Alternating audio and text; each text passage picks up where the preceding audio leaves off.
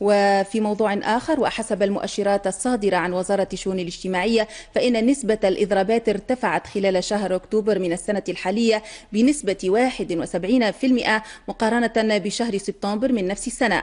وفي المقابل سجلت انخفاضا بنسبة 18% مقارنة بشهر أكتوبر من السنة الماضية. مؤشرات أثرت جدلا بين الاتحاد العام التونسي للشغل ووزارة الشؤون الاجتماعية حول مدى صحتها.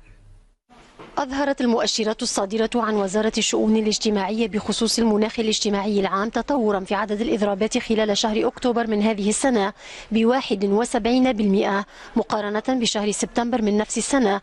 نسبة شكك في صحتها الأمين العام المساعد للاتحاد العام التونسي